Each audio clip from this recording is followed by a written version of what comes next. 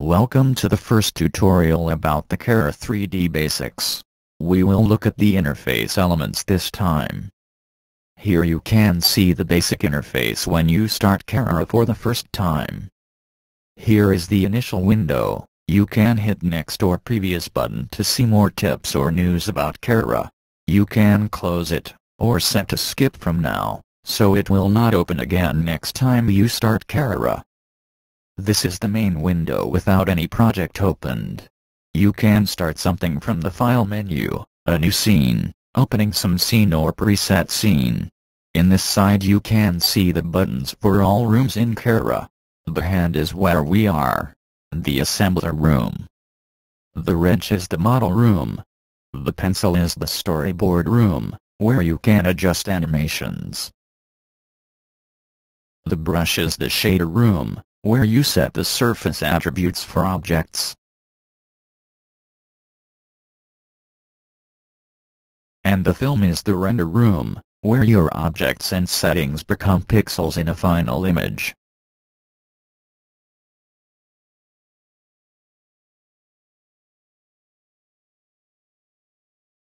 In the bottom of the screen we can find the Browser tab, where all components that we need to create a scene lives complete scenes, objects, shaders, clips and poser content, that for a new installation is empty.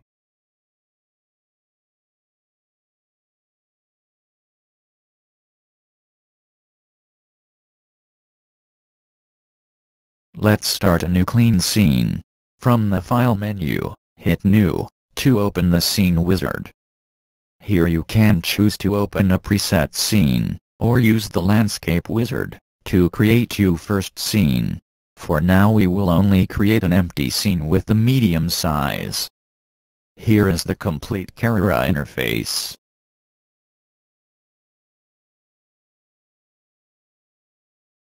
The Browser tab is now down the Sequencer tab, where animation lives. Using keyframes, you can give life to your objects here.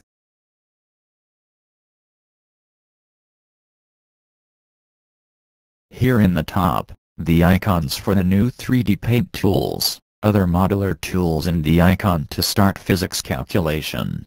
Here are the primitives objects.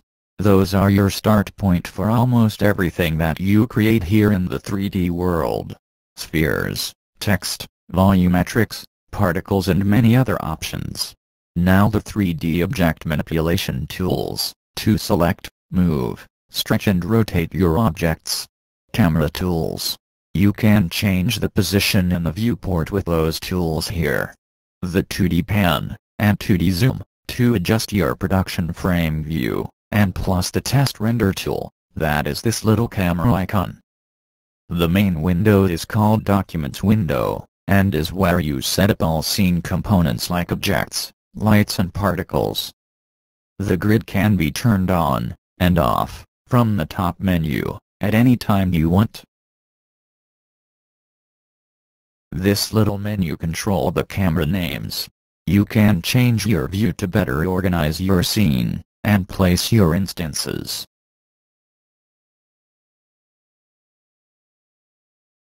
Director's camera is the main view where you can rotate, zoom, without changing your the real camera position. This is the default empty scene and this little yellow icon is a distant light. As you can see there are simple projections, to determine its position in the grid. You can work in more than one view at same time, using the view controls.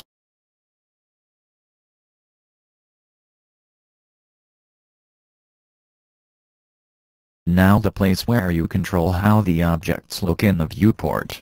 Object View Controls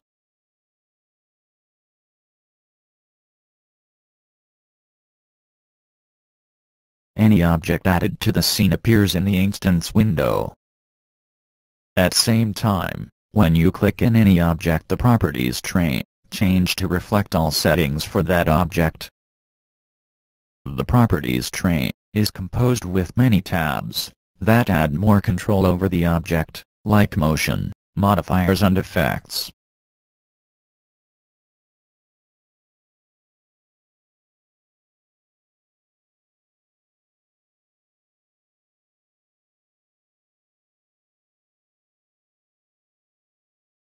Look how the content in every tab change from object to object.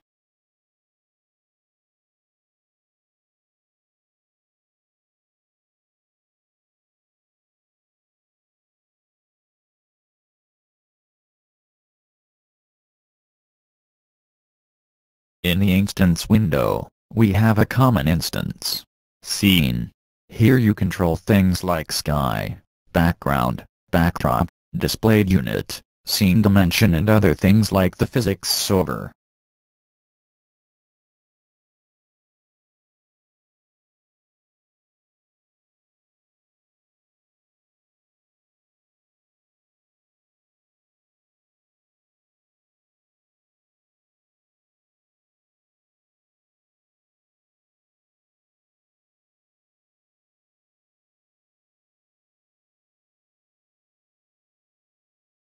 The instance window, have some other tabs too.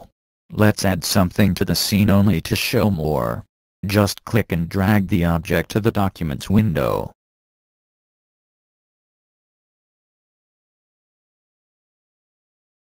The Objects tab, list all objects in the scene. When you select one, the properties tray change so you can have more control over the selection.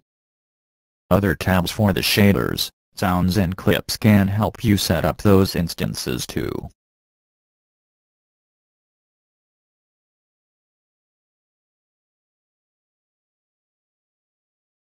Now you know a little more about the Carrara interface. Thanks for watching this tutorial.